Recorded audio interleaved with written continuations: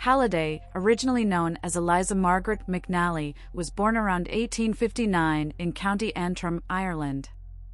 Her family relocated to the United States when she was quite young, either at the age of three or eight. In 1879, Halliday married a man from Greenwich, New York, who was using the alias Charles Hopkins, but whose true name was Ketspel Brown. They were reported to have had a son who later ended up institutionalized. Unfortunately, Charles Hopkins passed away, and shortly after, in 1881, Halliday married Artemis Brewer, a pensioner. However, their happiness was short lived, as Brewer also passed away less than a year after their marriage. She then married Hiram Parkinson, but their union didn't last, and Parkinson left her within the first year of their marriage. Undeterred, Halliday went on to marry George Smith, a war veteran who had served alongside Brewer.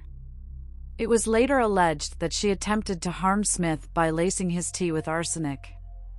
In fear of the consequences, Lizzie fled to Bellows Falls, Vermont, and quickly married Charles Plaistel, a resident of Vermont.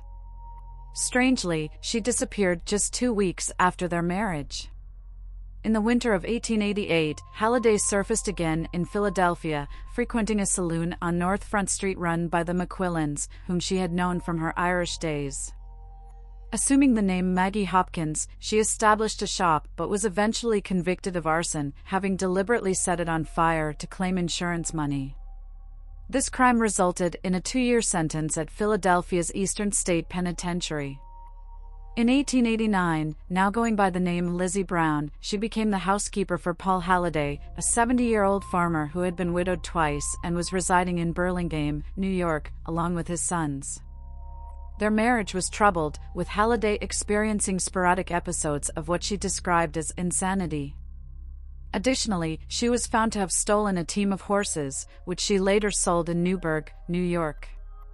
However, she was ultimately acquitted of this crime, with accounts differing on whether this occurred in 1890 or 1893, based on the grounds of insanity.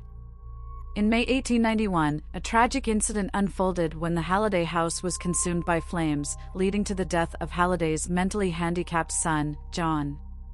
Suspicion arose once again, pointing to Lizzie Halliday as the culprit, as she was known to harbor resentment towards her own son. Despite her claims that John perished while trying to save her, evidence surfaced during the investigation, revealing a locked bedroom door in the debris, with Halliday in possession of the key. Disturbingly, not long after this event, the Halliday barn and mill were also set ablaze.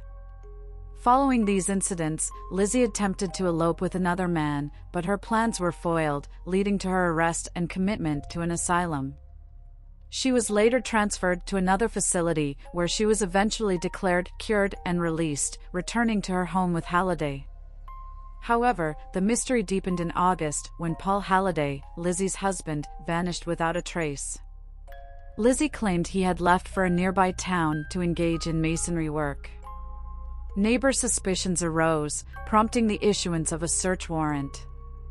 On September 4th, a chilling discovery was made in a barn the bodies of two women, later identified as Margaret and Sarah McQuillan, residents of New York, whom Lizzie had known from her time in Philadelphia. Both women had been fatally shot. In the midst of the investigation, the situation took an even more sinister turn. Paul Halliday's mutilated body was found concealed beneath the floorboards of his own home, also bearing gunshot wounds. Lizzie Halliday was immediately charged with these shocking murders and confined to the Sullivan County Jail in Monticello, New York. Throughout her incarceration, her behavior was erratic and alarming. She engaged in self destructive actions, including refusing to eat, attacking the sheriff's wife, setting fire to her own bed, attempting suicide by hanging, and even inflicting harm on herself with broken glass. Her actions led some to speculate that she might be feigning insanity. Given her dangerous conduct, jail authorities had no choice but to restrain her, resorting to chaining her to the floor for her own safety during her remaining time there. The case of Lizzie Halliday became one of extraordinary intrigue and horror, prompting intense scrutiny as it awaited trial. On June 21, 1894, Lizzie Halliday faced conviction at the Sullivan County Oyer and Terminer Court for the murders of Margaret McQuillan and Sarah Jane McQuillan. Remarkably, she became the first woman in history to receive the death penalty by electrocution, utilizing New York State's recently introduced electric chair. However, before the sentence could be carried out, Governor Roswell P. Flower intervened and commuted her punishment to life imprisonment in a mental institution, as a medical commission had declared her mentally unstable. Subsequently, Halliday was transferred to the Matteawan State Hospital for the Criminally Insane, where she remained for the rest of her life. Over time, she transformed into a model patient, earning trust and privileges, such as sewing rights, that granted her access to tools, including scissors. During her stay, she developed a close relationship with Nellie Wicks, one of the attendants at Matteawan. However, Halliday was profoundly disturbed by the news of Wicks's plans to depart from the institution. Tragically, in 1906, Halliday acted out in a horrific manner, ending Nellie Wicks's life by brutally stabbing her 200 times with a pair of scissors. This shocking act added another grave crime to her already notorious record. Halliday's existence within the asylum endured, but her health ultimately deteriorated. On June 28, 1918, she succumbed to Bright's disease, a condition that had afflicted her for some time. Her passing marked the conclusion of a deeply troubled life, with a significant portion spent locked away in the confines of the mental institution.